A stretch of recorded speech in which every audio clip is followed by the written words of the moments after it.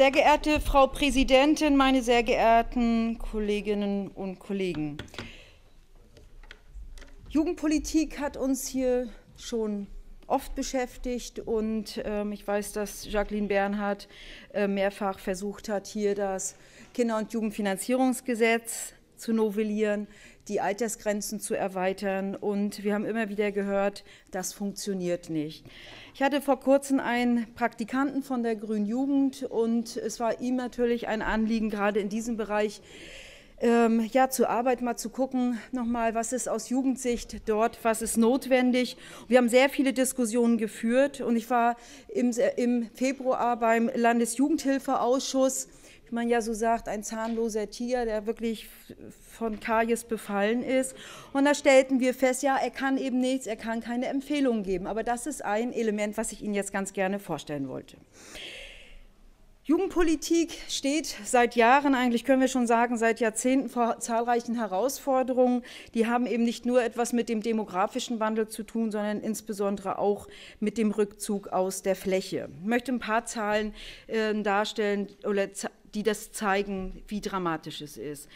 Ein Punkt äh, zum Personal. Im Vergleich von 2002 bis 2010 äh, hat sich dieses äh, halbiert waren noch im Jahre 2002 1657 in dem Bereich tätig, sind es jetzt 2010 nur noch 800 Menschen. Auch die Anzahl der Jugendzentren, Jugendfreizeitheime, Haus der offenen Tür haben sich auch mehr als halbiert. Auch hier die Zahl 2002, da gab es noch 580 Einrichtungen, im Jahre 2010 waren es noch 199. Alle Aus äh, Angaben sind aus dem Statistischen Landesamt dagegen. Und daran erinnern Sie sich auch gerade in der Diskussion um den Doppelhaushalt, hat sich die Zahl der Kinder und Jugendlichen in diesem Zeitraum nicht halbiert, sondern ist von circa 410.000 Kindern, jetzt haben wir 290.000 Kinder und ich nehme jetzt die Zahl 6 bis 26 Jahre.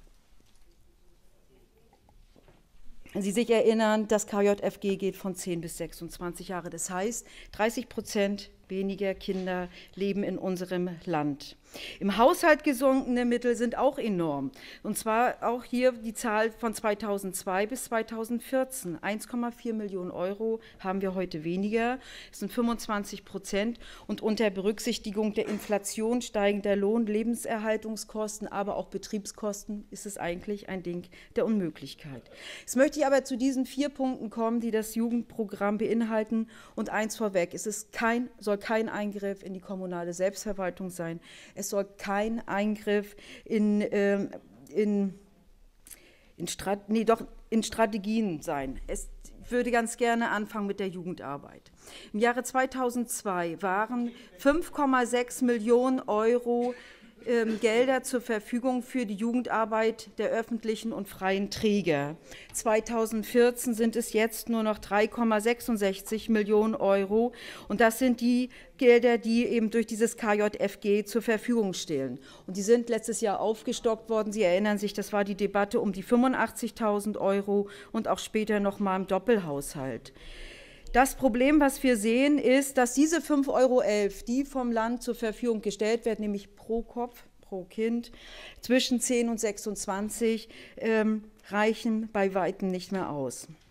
In diesem Kontext werden gerne zwei weitere Berufsfelder genannt, nämlich die Jugend- und die Schulsozialarbeit. Und die sehen auf den ersten Blick besser aus.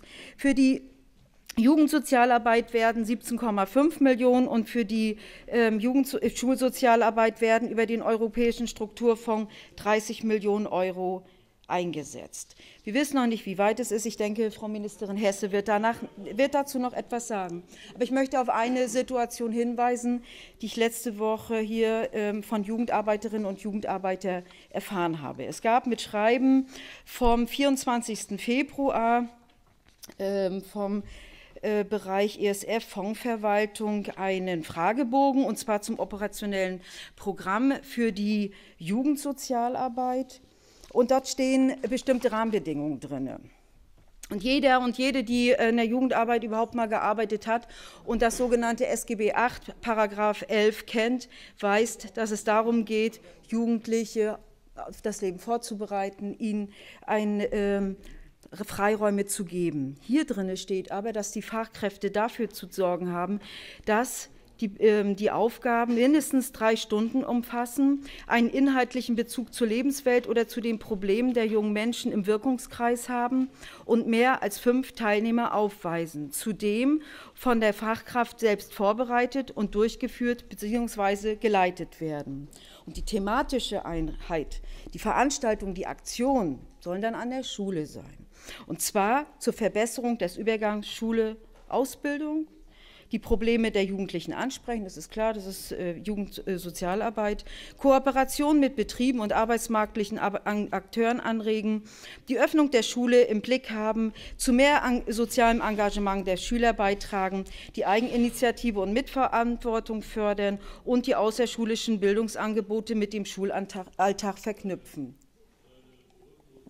Meine sehr geehrten Damen und Herren, es hat mit Jugendsozialarbeit und Jugendarbeit nur noch wenig zu tun. Und ketzerisch wurde ich gefragt, ob es nur noch um die Verwertbarkeit von Menschen für den Arbeitsmarkt geht. Und das können wir nicht zulassen. Und ich finde, dass diese Ausrichtung wirklich etwas ist, und da hätte ich gerne nachher ein paar Anmerkungen dazu von der Ministerin, wie sie sich dieses vorstellt. Diese, ich komme zurück, weil das waren die 17,5 Millionen, da sind zurzeit 180 Jugendsozialarbeiterinnen und Jugendsozialarbeiter im Land unterwegs. Einen weiteren großen Bereich hat die Schulsozialarbeit.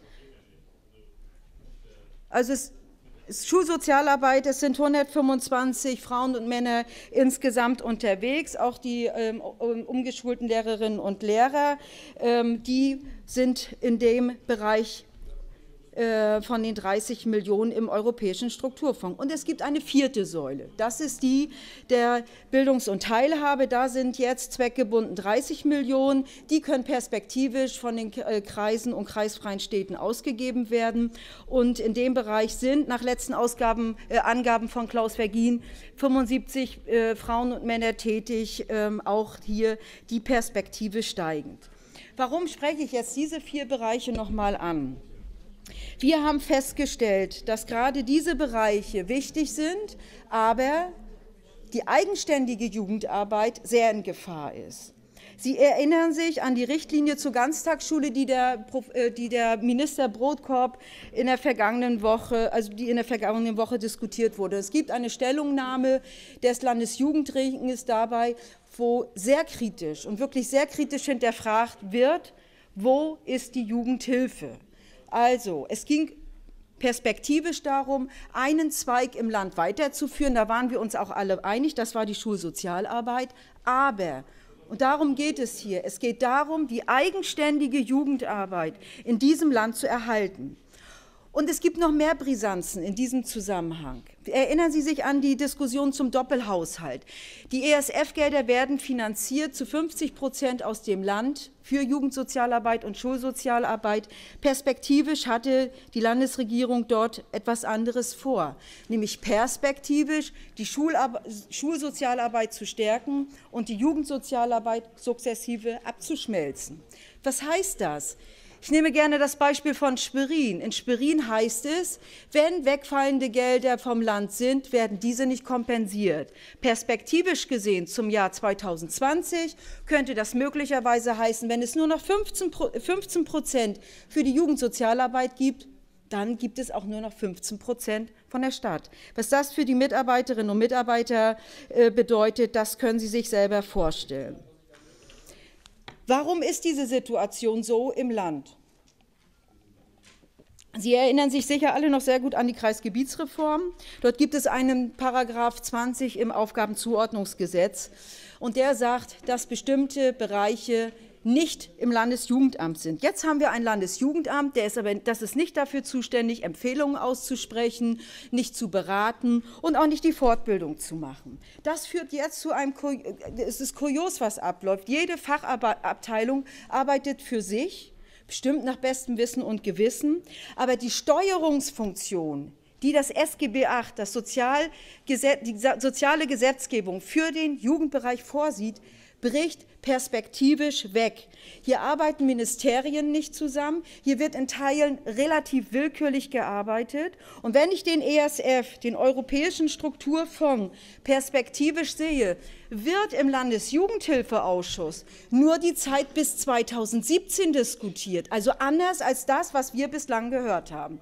Und da würde ich ganz gerne im zweiten Teil weitermachen. Ich danke für die Aufmerksamkeit und freue mich auf eine rege Debatte. Sehr geehrte Frau Präsidentin, meine sehr geehrten Kolleginnen und Kollegen. Also zwei Dinge habe ich schon mal jetzt erreicht. Das eine ist die Aussage eben von Frau Hesse mit der 50-50 Beibehaltung, nämlich 50 Prozent für die Schulsozialarbeit und 50 Prozent für die Jugendsozialarbeit. Herr Bahlen, wenn Sie sich erinnern, in dem letzten Doppelhaushalt ist das diskutiert worden, dass ähm, die Zuschüsse für die Jugendsozialarbeit perspektivisch abgeschmolzen werden sollten und wo es gerade im Zusammenhang mit dem örtlichen Jugendhilfeträger doch immer wieder Probleme gab. Das ist eine gute Aussage.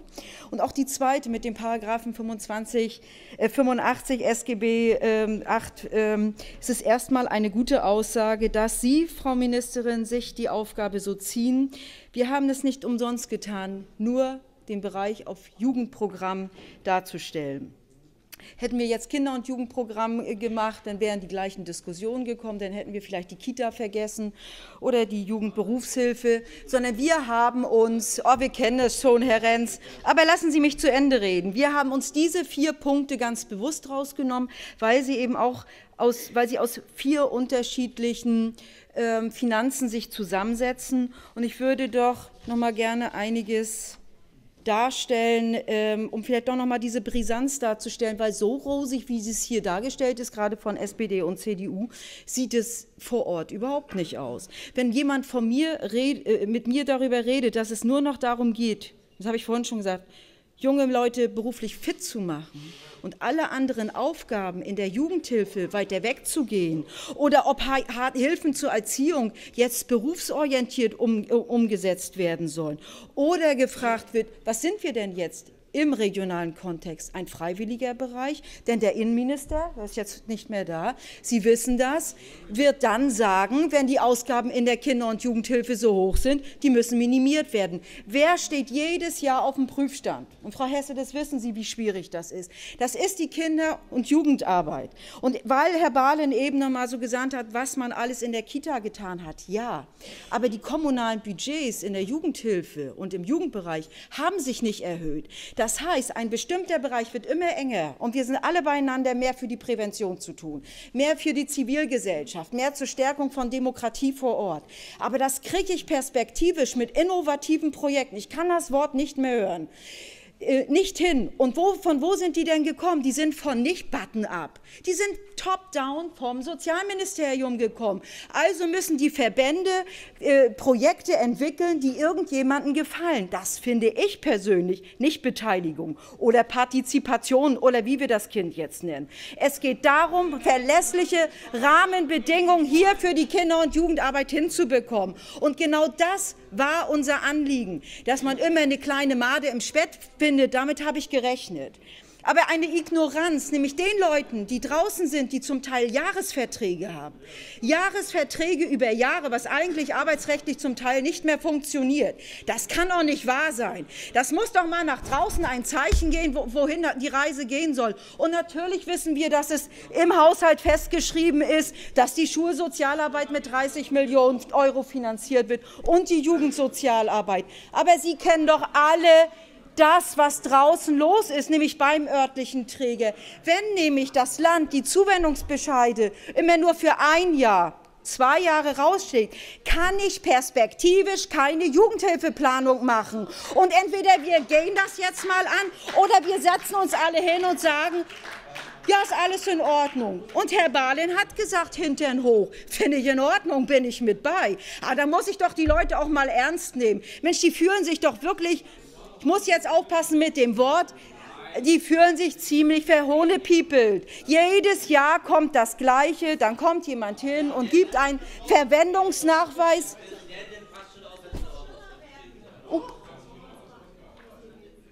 Und ich möchte erinnern, jetzt ist hier schon der Tuschel abgegangen, also, dass wir im Kommunalwahlkampf sind.